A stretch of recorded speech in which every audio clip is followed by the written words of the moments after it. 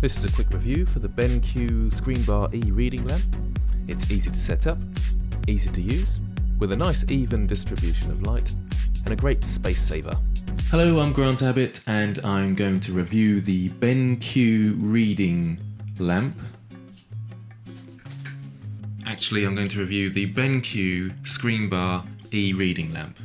So I was very excited when uh, BenQ got in contact with me. I thought, excellent, uh, send me some free stuff. If you've got any free stuff, I'm your man. Brilliant. And they sent me a reading light. Now, don't get me wrong, I do love some free stuff. It makes me feel important, it makes me feel like I've made it, it gives me a real sense of achievement in my life. But a reading lamp? Anyway, here's my review. Uh, I actually really like it, I think it's really great. Uh, I will always give an honest review, but it's a reading lamp. Uh, so it's something I really wouldn't go out and buy normally because I'd turn the light on.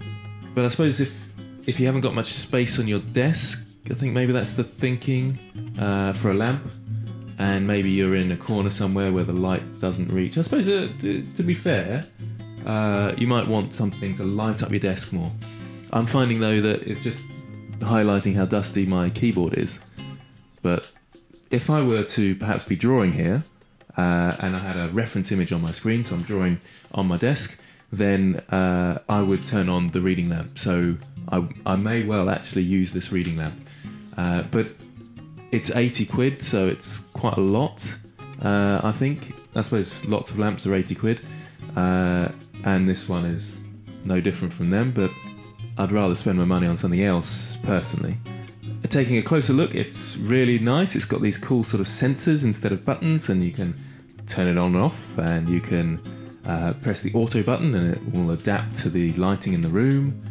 And it's got a temperature thing, uh, which you can have sort of a blue light or a orangey light, and it's got a dimmer switch, so you can press and hold and make it dim, or press and hold and make it brighter again. And it works really well. It plugged in and worked straight away. It was really easy to install and place on the top of my monitor. It looks like it's very adaptable for each monitor, so that's great. I mean, there's there's quite a lot of good points about it. Really, there's not much I can say that's bad, except for the price and the fact that I don't really need one. But I am happy to have some free stuff, and I will use it. Uh, it's kind of fun.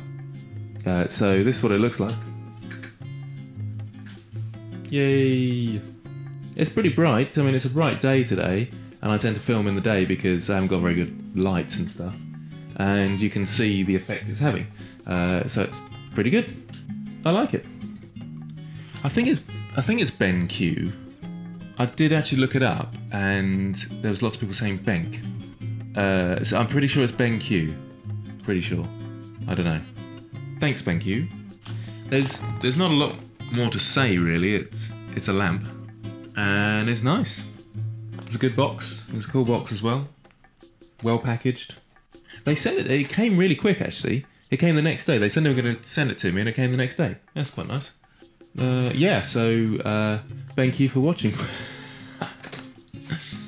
Uh, just as another note, if you uh, want to send me free stuff and you're in the free stuff market, you've got lots of free stuff sitting around that you don't know what to do with, send me the free stuff. I'm in the market for free stuff. Love a bit of free kit. I'd really like some expensive free kit, really. So, uh, if you got any expensive stuff, that'd be brilliant. Yeah. I know I've only got a few subscribers, but I think I'm well worth it. You can count on me except I'll give an honest review. So if it's rubbish, then I'll say it's rubbish. But you know, uh, send me your free stuff. That's all I'm saying. Send me some free stuff. So yeah, links in the description. Thanks for watching.